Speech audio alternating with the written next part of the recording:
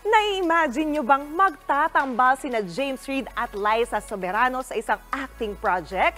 Hindi raw yan imposible ayon mismo kay James. Yan at iba pa sa report ni MJ Marfori. May mauuna siyang, siyang mauuna Liz Ken sasagot. o JD? Eh what if sina James Reid at Liza Soberano ang magtambal sa acting project? Pwede!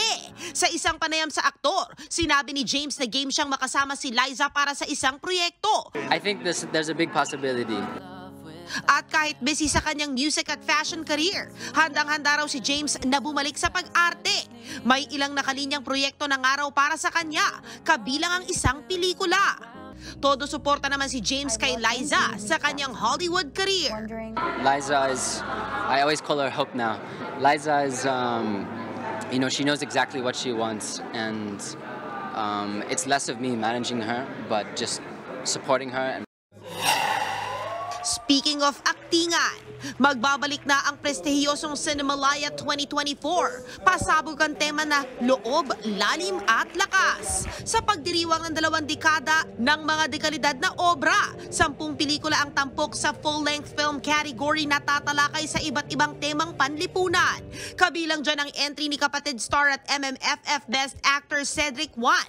Naggulay lang manong. It's about the struggle of our farmers and at the same time, um, yung maling pananaw when it comes to cannabis na masyado siyang nasa nasa dark side eh.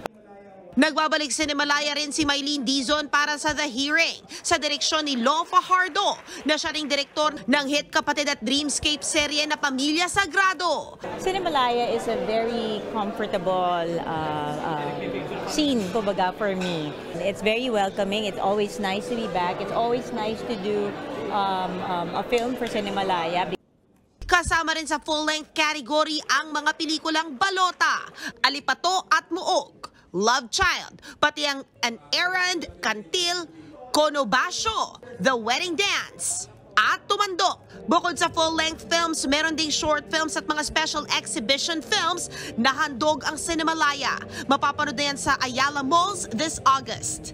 Nagbabalita mula sa Frontline, MJ Marfori, News 5. Mga kapatid, Jania Lipon po, laging maging updated sa latest sa entertainment and lifestyle para maging una sa balitaan. Bisitahin at mag-subscribe na sa social media pages ng News 5.